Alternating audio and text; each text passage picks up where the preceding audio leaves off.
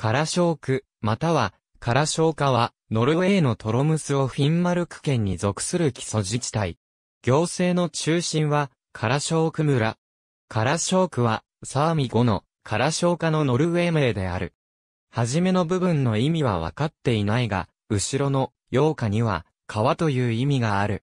1866年に、キストランから分かれた。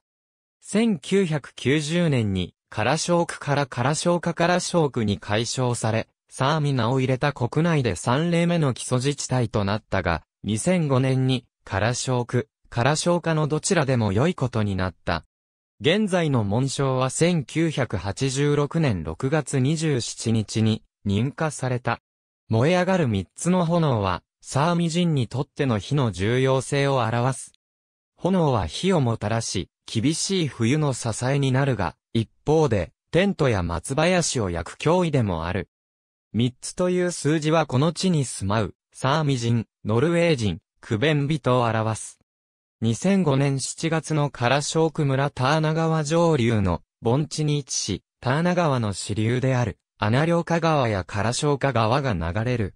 フィンマルク高原が大部分を占め、松林やカバリンが広がる。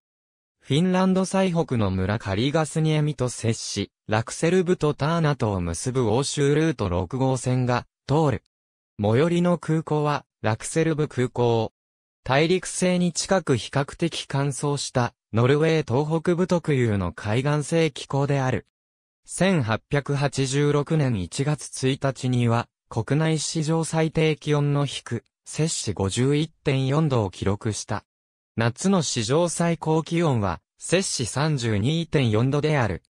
1999年の1月にも、公式記録こそ低、摂氏51.2度だったが、非公式には低、摂氏56度に達した地点もあった。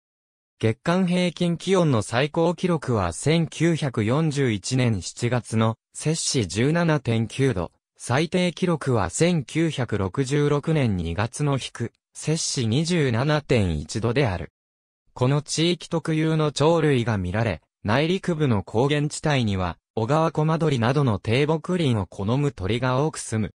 ターナ川の上流部も渡り鳥のルートとなっている。サーミ議会内部人口のほとんどがカラショーク村に集中する。村には、サーミ議会やサーミ放送局、サーミ人による教会がいくつかある。住民の8割がサーミ語を話し、サーミ人とノルウェー人が平等に暮らす。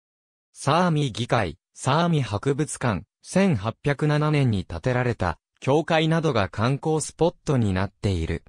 議会は1989年に国王、オーラブ5世の命で設立され、カウト系の出身のオレヘンリク・マガが8年間にわたり、初代議長を務めた。県内最古のルーテル派教会は、唯一、第二次世界大戦での戦火を免れた。木造で、サーミ様式になっている。